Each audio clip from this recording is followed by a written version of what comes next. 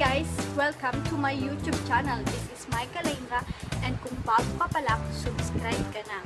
So, ang itatopic natin sa first vlog ko is products that I use to get this fair skin kung paano ako pumuti sa murang halaga.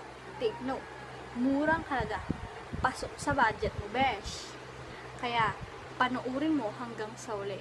Okay, mag-throwback muna tayo ng mga pictures ko dati nung high school ako kung ano ang itsura ko noon. Yan. So, yun, nung high school ako, hindi naman ako ganun ka puti, hindi rin naman ganun ka itim. Sakto lang, parang yung morena, ganun. Charot.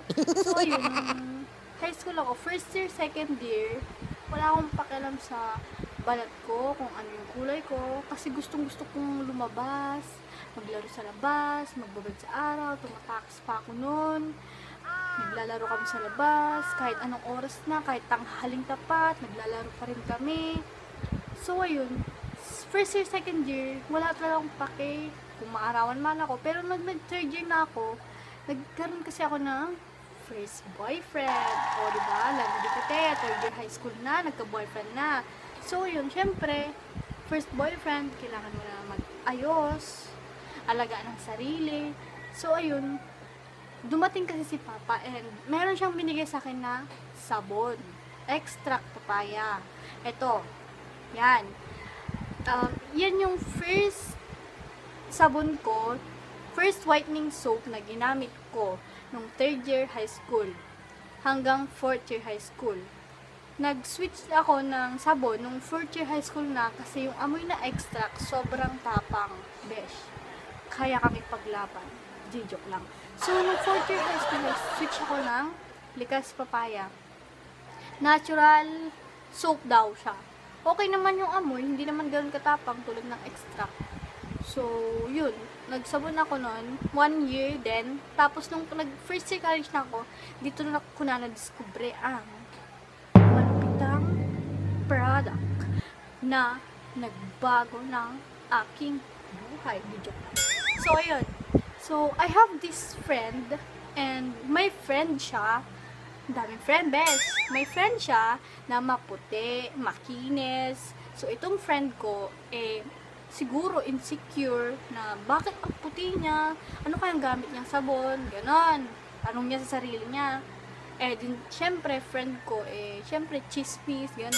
Eh, chinismis niya. Tinanong niya kung ano daw yung gamit niyang sabon na pampaputi, or anong ginagamit sa, sa sarili niya, bakit siya maputi. So, yung friend niya, edi sinabi din niya, hindi naman siguro madamot sa, ano eh, sa sagot. Kaya sinabi niya. So, ayun, itong friend ko, sinabi din niya sa akin. Edi, syempre, curious din ako. Di, trinay ko kung effective. Oh, super effective. Super besh. Super besh. Super effective. Ito na ako ngayon. Maputi na. Hindi gaya ng dati. Maitim. So, ipapakita ko yung product. And, ito na. Yes. Kojisan. Kojisan lang, besh. 50 pesos. 50 pesos lang siya. Ayan. Pasok sa bag. Ko, ito, ang magiging sabon mo. 50 pesos lang, besh. Dalawang soap to eh. Pero ako, hinati-hati ko kaya para medyo matagal. Ang advice ko lang, pag gagamit kayo nito, bawal magbabad sa araw. Bawal magtagal sa araw. Kasi once na ginamit mo to at nagpa-araw ka, besh, masusunog ang balat mo. Mamitim ka. Ash in. Ash in talaga, besh. So, yun. Kung ito, ito talaga yung hiyang soap.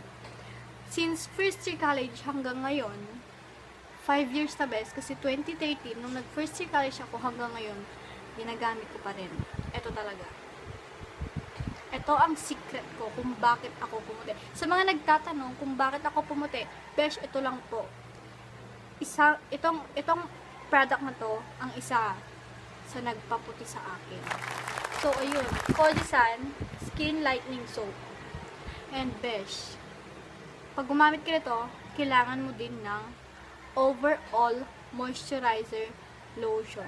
Sa nagtatanong kung anong ginagamit kong lotion ngayon, eh, ito. Sponsored by Mudrakels. Enya. Enya. Oh, yan. Enya Kano. Vitamin E lotion. Kasi ang skin kailangan ng vitamin E.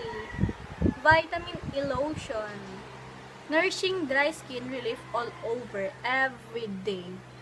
Premium all over moisturizer. So, ayan. Ang laki besh. Hindi ko pa siya ubos. So, thank you dito sa thank you dito mama sa sponsor mo. Hmm, hindi ako mapili sa lotion. Kahit anong lotion, okay lang basta yung sabon. Stick to one ako doon sa sabon. And last, but not the least, na ginagamit ko na product na nagpapaglow ng skin ko is Taran! Myra E. Myra E. D-alpha tocopherol. Vitamin E. Vitamin E talaga ang kailangan sa skin natin, besh. One bottle siya. 300 ata to sa Mercury Drug. 30 capsules. Pero, besh, ubus na. Mm. Wala na po akong pambili. Ang bilis na ubos kasi pati boyfriend ko nakikigamit. Gusto daw niya mag-glow ang kanyang skin. O, 'di ba? Ang landi, besh. Kaya gaya. So, ayun. Ito lang naman ang ginagamit ko. Secret recipe kung bakit ako pumuti and bakit nag-glow ang skin ko sa mga nagtatanong dyan. Ito lang, besh. Ito lang po talaga. Wala nang iba. Loyal ako sa kanilang dalawa. Since noon. First year college. Ito na.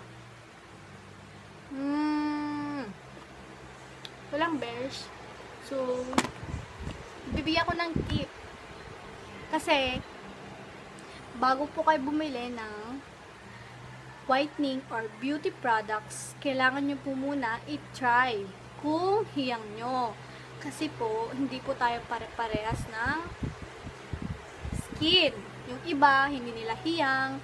Yung iba, super hiyang, gaya nung sabon. Yung iba, hindi hiyang. Yung iba, hiyang, tulad ko, hiyang. Tapos yung, ano, Mayra E, yung iba kasi, eto, yung friend ko, trinay din niya mag Mayra E, kaso hindi niya hiyang, nagpapalpitik daw siya, hindi daw siya makatulog ng gabi. So, ayun, may, ano, ba't ibang va- varieties ng products na pwede rin, pwede rin yung gamitin para pumuti. Pero yung akin, this two only. Yun lang po. Thank you sa panonood. Follow nyo ako sa social media accounts ko sa Instagram, Twitter, and sa Facebook. And kung may tanong man kayo sa products or sa akin, eh, pwede nyo akong, pwede kayong mag-comment, pwede nyo din akong i-message sa social media accounts. Don't forget to subscribe my YouTube channel and see you on my next vlog.